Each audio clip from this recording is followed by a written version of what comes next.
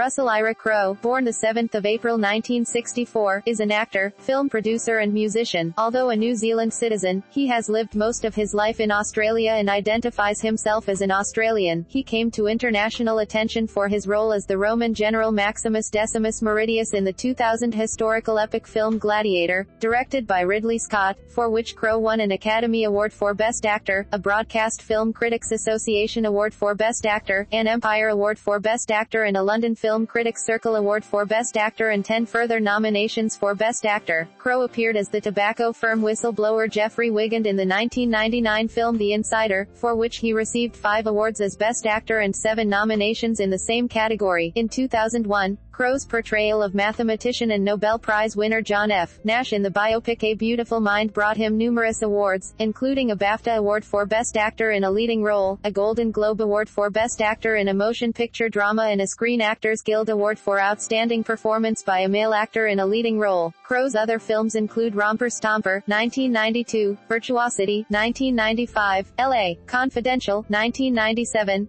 Proof of Life, 2000, Master and Commander, The Far Side of the World, 2003, Cinderella Man, 2005, American Gangster, 2007, State of Play, 2009, Robin Hood, 2010, The Next Three Days, 2010, Les Miserables, 2012, The Man with the Iron Fists, 2012, Man of Steel, 2013, Noah, 2014, and The Water Diviner, 2014. Crowe's work has earned him several accolades during his career and including a star on the Hollywood Walk of Fame, three consecutive Academy Award nominations, 1999 to 2001, one Golden Globe Award for Best Actor, one BAFTA, and an Academy Award. Crowe is also the co-owner of the South Sydney Rabbitohs, an Australian national rugby league team. Early life. Crowe was born on the 7th of April 1964 in the Wellington, New Zealand suburb of Strathmore Park, the son of Jocelyn Yvonne, née Wemyss, and John Alexander Crowe, both of whom were film set caterers. His father also managed a hotel. Crowe's maternal grandfather, Stan Wemyss, was a cinematographer who was named an MBE for filming footage of World War II. Crowe's paternal grandfather, John Doubleday Crowe, was from Wrexham, Wales, while one of Crowe's maternal great-grandmothers was Maori. Crowe also has English, German, Irish, Italian, Norwegian, Scottish, Swedish, and Welsh ancestry. He is a cousin of former New Zealand cricket captains Martin Crowe and Jeff Crowe. When Crowe was four years old, his family moved to Sydney, where his parents pursued a career in set catering. The producer of the Australian TV series Spyforce was his mother's godfather, and Crowe, at age five or six, was hired for a line of dialogue in one episode, opposite series star Jack Thompson. In 1994 Thompson played the father of Crowe's character in The Sum of Us. Crowe also appeared briefly in the serial The Young Doctors. Crowe was educated at Sydney Boys High School. When he was 14, his family moved back to New Zealand where, along with his brother Terry, he attended Auckland Grammar School with cousins Martin Crowe and Jeff Crowe. He then continued his secondary education at Mount Roskill Grammar School, which he left at the age 16 to pursue his ambition of becoming an actor. Career, New Zealand. Crowe began his performing career as a musician in the early 1980s, under guidance from his good friend Tom Sharplin, when he performed under the stage name Russ Le Roq. He released several New Zealand singles including I Just Want to Be Like Marlon Brando,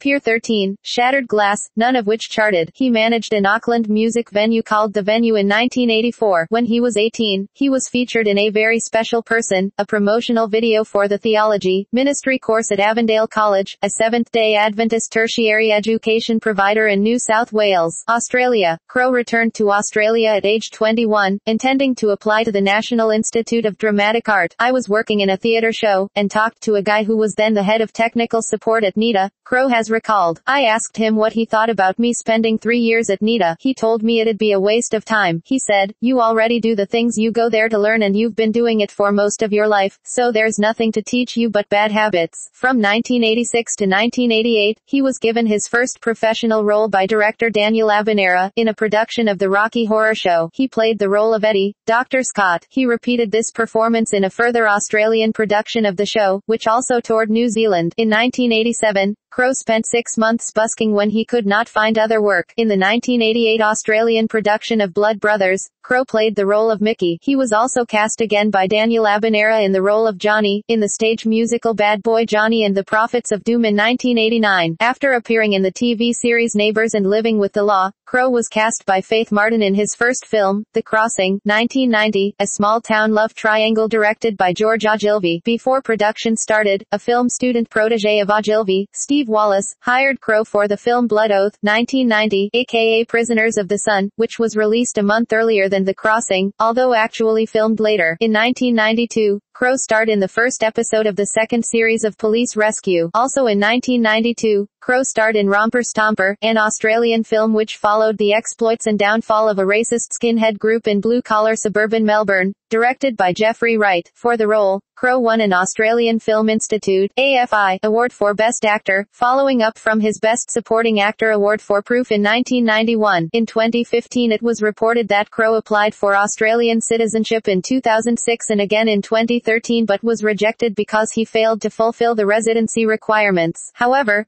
Australia's immigration department said it had no record of any such application by Crowe. North America. After initial success in Australia, Crowe first starred in a Canadian production in 1993, For the Moment, before concentrating on American films. He co-starred with Denzel Washington in Virtuosity, the duo later appearing together in American Gangster, and with Sharon Stone in The Quick and the Dead in 1995. He went on to become a three-time Oscar nominee, winning the Academy Award as Best Actor in 2004 Gladiator. Crowe was awarded the Australian Centenary Medal in 2001 for service to Australian society and Australian film production. Crowe received three consecutive Best Actor Oscar nominations, for The Insider, Gladiator and A Beautiful Mind. Crowe won the Best Actor award for A Beautiful Mind at the 2002 BAFTA award ceremony, as well as the Golden Globe and Screen Actors Guild Award for the same performance. Although nominated for an Academy Award, he lost to Denzel Washington. All three films were also nominated for Best Picture, and both Gladiator and A Beautiful Mind won the award. Within the six-year stretch from 1997 to 2003, he also starred in two other Best Picture nominees, L.A., Confidential and Master and Commander, The Far Side of the World. In 2005, he reteamed with A Beautiful Mind director Ron Howard for Cinderella Man. In 2006, he reteamed with Gladiator director Ridley Scott for A Good Year, the first of two consecutive collaborations, the second being American Gangster co-starring again with Denzel Washington, released in late 2007. While the light romantic comedy of A Good Year was not greatly received,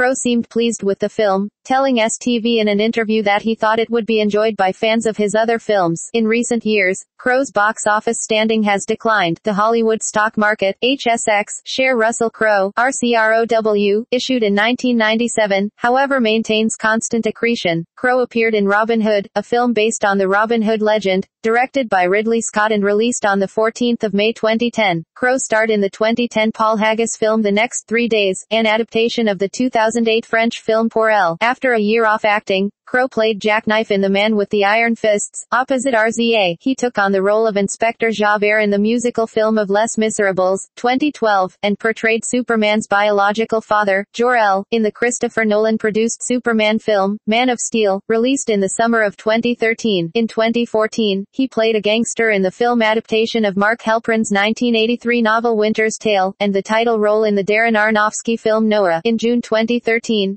Crowe signed to make his directional debut with an historical drama film The Water Diviner, which he also starred in. The film focused on the time of 1919 and was produced by Troy Lum, Andrew Mason and Keith Rodger. Music. In the 1980s, Crowe, going under the name of Russ ROQ, recorded a song titled I Want to Be Like Marlon Brando. In the 1980s, Crowe and friend Billy Dean Cochran formed a band, Roman Antics, which later evolved into the Australian rock band 30 Odd Foot of Grunts, abbreviated to TOFOG. Crowe performed lead vocals and guitar for the band, which formed in 1992. The band released the Photograph Kills EP in 1995 as well as three full-length records, Gaslight, 1998, Bastard Life or Clarity, 2001, and Other Ways of Speaking, 2003. In 2000 TOFOG performed shows in London, Los Angeles and the now famous run of shows at Stubbs in Austin, Texas which became a live DVD that was released in 2001 called Texas. In 2001 the band came to the US for major press, radio and TV appearances for the Bastard Life or Clarity release and returned to Stubbs in Austin, Texas to kick off a sold-out US tour with dates in Austin, Boulder, Chicago, Chicago, Portland, San Francisco, Los Angeles, Philadelphia, New York City and the last show at the famous Stone Pony in Asbury Park, New Jersey. In early 2005, 30-odd foot of grunts as a group has dissolved, evolved with Crowe feeling his future music would take a new direction and he began a collaboration with Alan Doyle of the Canadian band Great Big Sea, and with it a new band, The Ordinary Fear of God which also involved some members of the previous TOFOG lineup. A new single, Raewyn, was released in April 2005 and an album entitled My Hand, My Heart which was released and is available for download on iTunes. The album includes a tribute song to actor Richard Harris, who became Crowe's friend during the making of Gladiator. Russell Crowe and The Ordinary Fear of God set out to break the new band in by performing a successful sold-out series of dates of Australia in 2005 and then in 2006 returned to the US to promote their new release My Hand, My Heart with another sold-out US tour and major press, radio and television appearances. In March 2010, Russell Crowe and The Ordinary Fear of God's version of the John Williamson song Wintergreen was included on a new compilation album The Absolute Best of John Williamson, 40 Years True Blue, commemorating the singer-songwriter's milestone of 40 years in the Australian music industry. As of May 2011, there are plans to release a new Russell Crowe and The Ordinary Fear of God recording, co-written with Alan Doyle, and for a U.S. tour which would be the first live dates in the U.S. since 2006. On the 2nd of August 2011, the third collaboration between Crowe and Doyle was released on iTunes as The Crowe,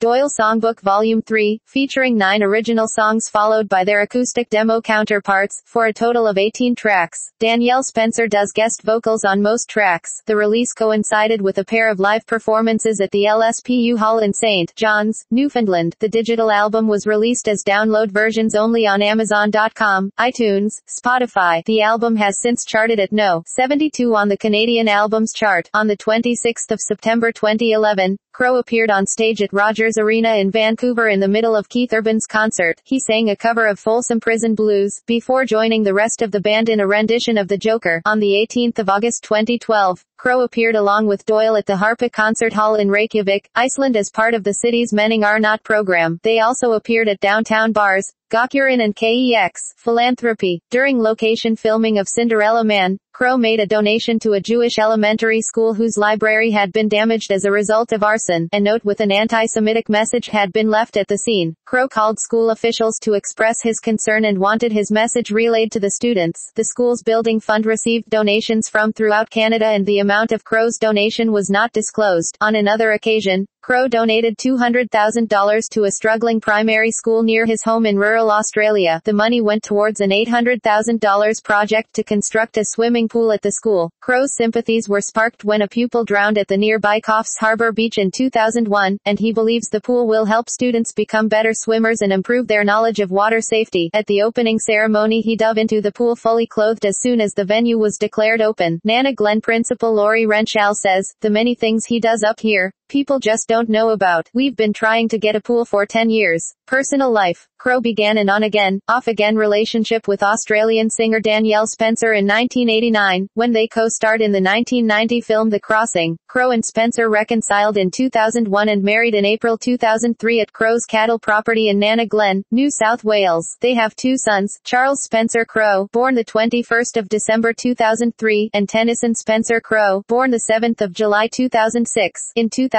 Crowe was romantically involved with his co-star Meg Ryan while on the set of their film Proof of Life. In October 2012, it was reported that Crowe and Spencer had separated. Crowe resides in Australia. In 2011, Crowe and his family moved to a house in Sydney's Rose Bay. Crowe also owns a house in the North Queensland city of Townsville, purchased in May 2008. In the beginning of 2009, despite not having Australian citizenship, Crowe appeared in a series of special edition postage stamps called Legends of the Screen, featuring Australian actors. He, Geoffrey Rush, Cate Blanchett, and Nicole Kidman each appear twice in the series, once as themselves and once as their Academy Award-winning character. Crowe stated in November 2007 that he would like to be baptized a Christian, and feels that he has put it off for too long. I do believe there are more important things than what is in the mind of a man, he says. There is something much bigger that drives us all. I'm willing to take that leap of faith. In June 2010, Crowe, who had started smoking when he was only 10, announced he had quit for the sake of his two sons. In November 2010, Crowe told David Letterman that he had been smoking more than 60 cigarettes a day for 36 years of his life, and that he had fallen off the wagon the previous night and smoked heavily. Crowe publicly endorsed Barack Obama, whom he called the light and the future, in the United States presidential election, 2012, and urged Americans to vote for him. He also publicly endorsed Julia Gillard, whom he called leader through tough times, in the Australian Labor Party leadership spill, June 2013, although he is unable to vote in Australia as he is not an Australian citizen. Gillard lost the Labour leadership to Kevin Rudd, who subsequently lost the Australian federal election. 2013. Al-Qaeda threats. On the 9th of March 2005, Crowe revealed to GQ magazine that Federal Bureau of Investigation, FBI, agents had approached him prior to the 73rd Academy Awards in March 2001 and told him that the terrorist group Al-Qaeda wanted to kidnap him. Crowe told the magazine that it was the first time he had ever heard of Al-Qaeda and was quoted as saying, you get this late night call from the FBI when you arrive in Los Angeles, and they're, like, absolutely full on. We've got to talk to you now before you do anything. We have to have a discussion with you, Mr. Crowe. Crowe recalled that, it was something to do with some recording picked up by a French policewoman, I think, in either Libya or Algiers. It was about taking iconographic Americans out of the picture as a sort of cultural destabilization plan. Sport. Crowe says he follows New Zealand's rugby union team, the All Blacks, and Australia in any other sport. Two of his cousins, Martin Crowe and Jeff Crowe, are former captains of the Black Caps New Zealand international cricket team. Rugby League. Crowe has been a supporter of the rugby league football team the South Sydney Rabbitohs since childhood. Since his rise to fame as an actor, he has continued appearing at home games, and supported the financially troubled club. Following the Super League war of the 1990s Crowe made an attempt to use his Hollywood connections to convince Ted Turner, rival of Super League's Rupert Murdoch, to save the Rabbitohs before they were forced from the National Rugby League competition for two years. In 1999 Crowe paid $42,000 at auction for the brass bell used to open the inaugural Rugby League match in Australia in 1908 at a fundraiser to assist South's legal battle for re-inclusion in the league. In 2005, he made the Rabbitohs the first club team in Australia to be sponsored by a film, when he negotiated a deal to advertise his film Cinderella Man on their jerseys. On the 19th of March 2006, the voting members of the South Sydney club voted, in a 75.8 majority, to allow Crowe and businessman Peter Holmes à Court to purchase 75 of the organization, leaving 25 ownership with the members. It cost them $3 million,